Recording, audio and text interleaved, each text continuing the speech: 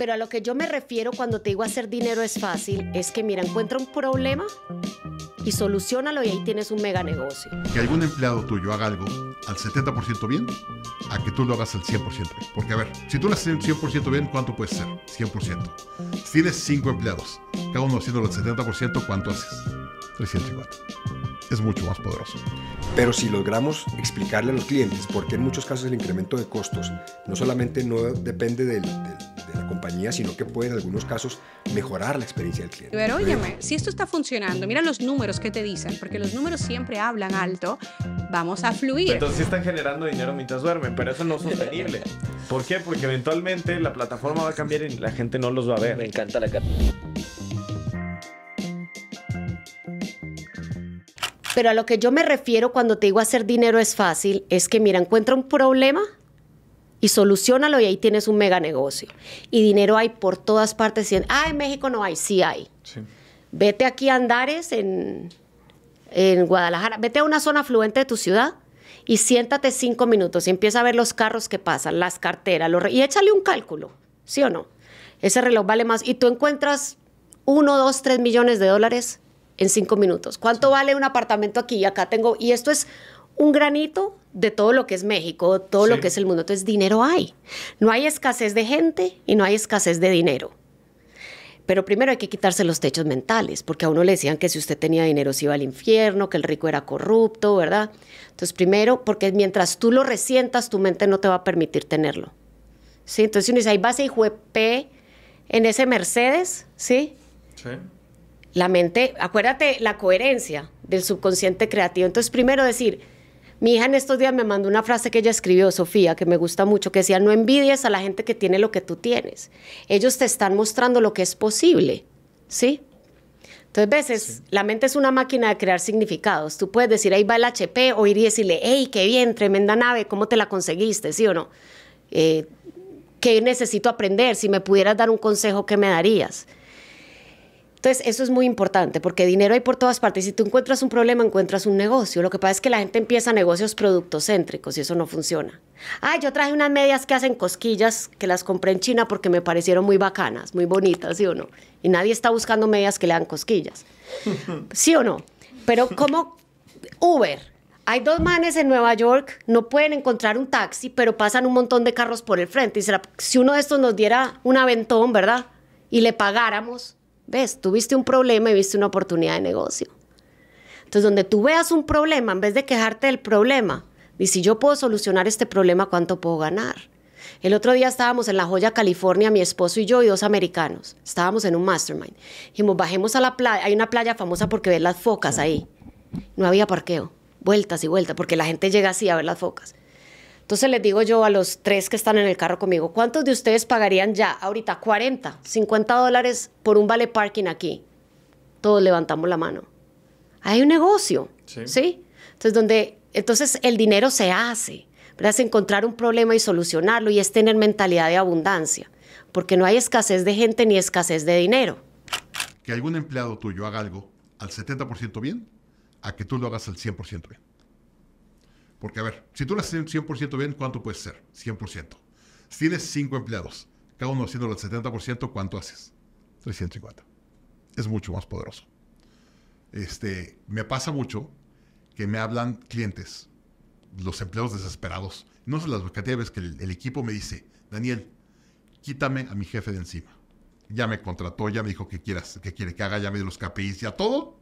Y encima, está encima de mí. Oye, ya hacer el email, pero yo quiero ver el email, quiero, quiero autorizar el, copy. Y este no sé qué, y están encima de ti. Quítame a mi jefe encima. Entonces, el problema con el líder es que el líder me habla y me dice, es que el empleado me presentó un email y estaba mal escrito, yo me senté y lo volví a escribir. Y le dije, hiciste dos problemas. Primero, perdiste tu tiempo. Y segundo, ¿qué le dijiste a tu empleado? Como que tú sabes que él no puede, tú lo tienes que hacer mejor. El siguiente email que él tenga que escribir, ¿tú crees que lo va a escribir con, con calma, con confianza? No. O le va a tener miedo, o va a venir contigo y te dice, yo tengo que mandar un email, me lo mandas tú, por favor. Hay una cosa que le llama eh, Carpen el triángulo del drama. Una persona llega contigo y te dice, tengo un problema. Necesito que me digas qué hacer o me lo resuelvas. Entonces te dice, yo soy una víctima, me está persiguiendo un problema, una situación, y necesito que tú me rescates. Y si tú lo rescatas y le dices qué hacer, o le dices no te preocupes, yo me encargo, le hablas a la persona o tú le mandas el email, lo que sea, y tú resuelves el problema, la persona que dice, ay, qué padre, ya no tengo el problema, se siente muy bien. Pero tú causaste un problema más grande. Le dijiste, tú viniste como víctima conmigo y al yo resolverlo para ti, ¿qué te estoy diciendo? Yo también estoy de acuerdo que tú eres una víctima. Y entonces lo metes en el, en el asiento victimario más. Entonces lo que tienes que hacer ahí es decir, a ver, yo sé que tienes un problema y es tu responsabilidad resolverlo. Yo por eso te contraté, porque yo sé que tú tienes la capacidad para hacerlo. Yo te voy a coachar, pero tú lo vas a resolver. Yo no lo voy a resolver por ti. A ver, ¿qué problema tienes? Y empieza a platicar con preguntas para, digamos, retar su forma de pensar para que viera tal.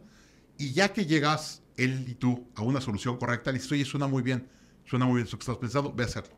Y esa persona va lo hace. Y esa persona, ¿qué aprendió? Aprendió el motor y las preguntas que haces para luego venir ellos a hacerlo. Si ellos digan ese problema, en vez de venir contigo, ¿qué van a decir? A ver, ¿qué me dijo? ¿Qué pregunta? Me hizo los que ah, ok, ya, y va, y lo hace. Eso es poderosísimo en vez de tú hacerlo. El mayor problema es como emprendedores llegan y te dicen, ¿qué hago? ¿Y qué le dices? Haz esto. Y le estás confirmando que ellos no lo pueden hacer por ti y por lo tanto tienen que venir contigo a la siguiente vez. Y ahí se acaba. Tu empresa no puede escalar.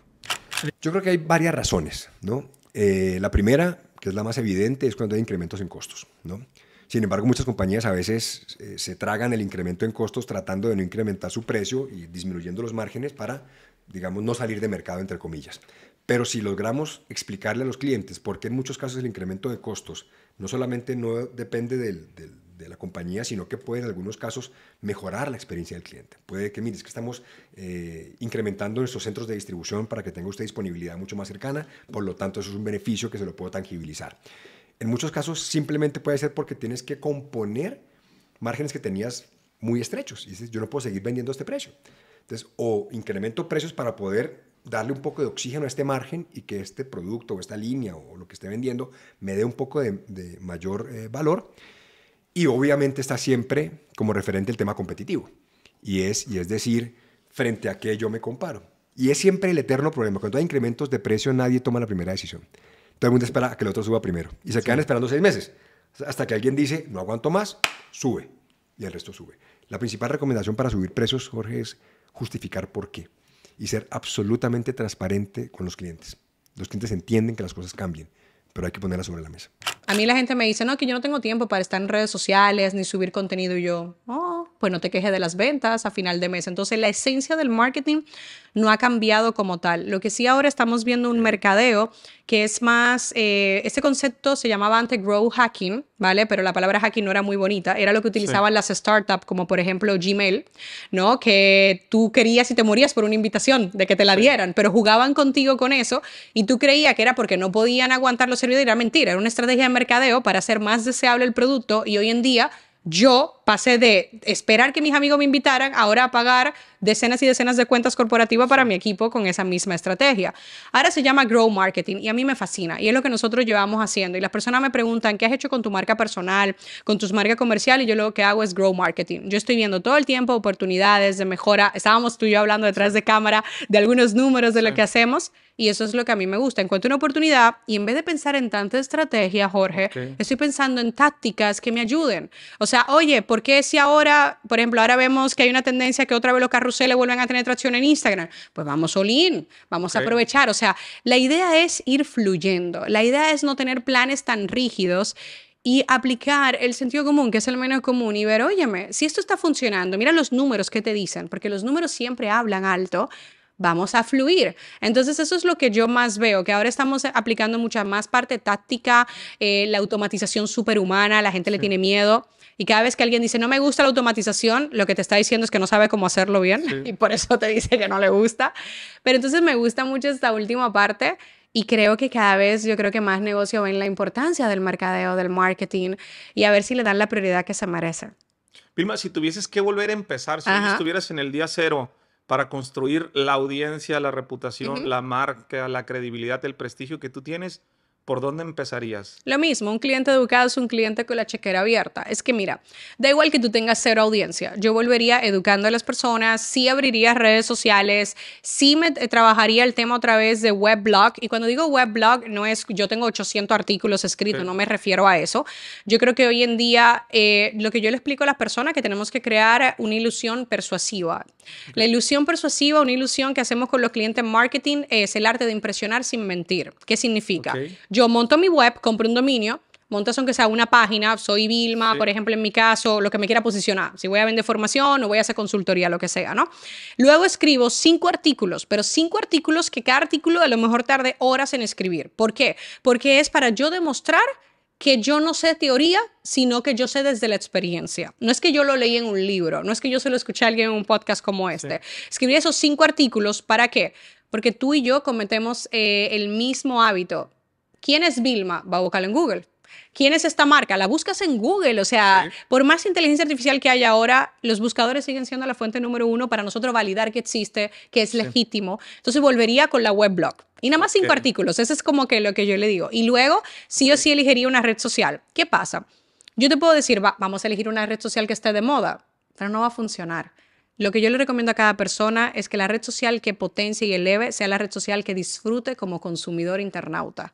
Si tu red social es LinkedIn, vete a un link con LinkedIn. Ok. Porque tú la entiendes desde el punto de vista de consumidor. Es igual que el buen vendedor debe de ser un buen comprador o una persona que por lo menos esté abierta a recibir que le vendan. Porque si aceptas que te vendan, es mucho más fácil que tú trabajes venderle a otro. Entonces esa es mi recomendación. Elige la red social que más te guste porque es lo que va a hacer. Y luego necesitamos la constancia. Yo nunca he visto una persona exitosa, una cuenta exitosa, una empresa exitosa donde no haya patrones de constancia. Entonces, si tú nada más te puedes permitir, no permitir, porque todo el mundo podría hacer más, pero vamos a imaginar que tú nada más quieres publicar una vez a la semana, sagradamente, toda la semana publica. Si tú vas a hacer email marketing sagradamente una vez a la semana, envía un correo. La constancia es lo que al medio largo plazo te va a dar una atracción que cuando tú mires para atrás vas a decir, oh, wow, menos mal que fui constante. Entonces analiza cualquier persona, cualquier empresa que admiras es constante. Oye, Manu, yo una vez vi, güey, en unos TikTokers, unos TikTok live Sí. de gente que está durmiendo y les van regalando cosas. ¿Los has visto? No, sí los vi, pero eso no es un Eh, negocio eso, no, sostenible. eso no cuenta como hacer dinero mientras Eso no duermes. cuenta para hacer dinero. A ver, este. ¿Los has visto, ¿tú- Jorge?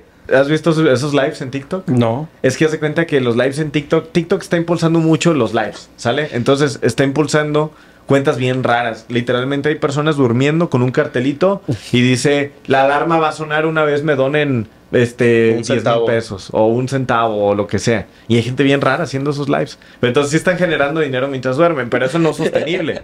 ¿Por qué? Porque eventualmente la plataforma va a cambiar y la gente no los va a Me ver. encanta la cara de Jorge. Yo estoy como venado respareado. No sabía, fíjate eso. Sí, sí, no, sí. no, no, no. o No, sea, los lives de Y la gente le dona. Los lives de TikTok están chafísimas, están chafísimas. O sea, hay, hay gente que, por ejemplo, agarra un huevo y lo empieza a pelar con un cuchillo. Y hace cuenta que si tú donas mucho, le pone tu nombre al huevo. Sí, o sea, es, es- es una chava acostada. En la pared tiene un letrero que dice, eh, como, así como precios, como de tiendita, precios. Si le donas un centavo, hace ruido. Si le donas mil pesos, explota una, un globo con agua y la despiertas, pero está literalmente durmiendo. Y la gente le está donando, está donando, está donando, está donando. Y, y hay uno que le dona los mil pesos y explota la de agua y se moja y despierta y, ah, sí, y, y se vuelve a limpiar y se vuelve a acostar. Y la gente le está... No es cierto. Es en serio, es en serio. No, no, no, y aguanta, déjate platico de los NPCs. Esos son mis favoritos, Jorge. ¿qué son esos? Esos sí te van a dar pena ajena. No sé cómo describírtelo, te lo voy a enseñar ahorita que terminemos de grabar, pero haz de cuenta que son personas que se ponen delante de la cámara, literalmente así como si fueran un personaje de videojuego, así que no tiene... Todo tieso, todo tieso. Y si tú le regalas, por ejemplo, una rosa, te dicen, oh, una rosa, gracias. Y Una rosa, Una rosa, gracias. Una rosa, gracias. Y luego le regalas no. un gatito y dicen, miau. Luego le regalas un vasito de agua y glu, glu, glu. No, Oh, eso sí está bien Yo- yo-. Yo he visto otros que hace cuenta que ponen mancuernas y ponen la de un kilo, la de dos, la de tres, la de cinco. Los ponen así todos y le ponen un cartelito, ¿no? Y ponen, dona una rosa y voy a levantar la de cinco. Dona un vaso de agua y voy a este, levantar tal, ¿no? Entonces, sí está bien pirata porque pues es gente que está- se está aprovechando de la plataforma para generar ingresos, pero pues no es sostenible. No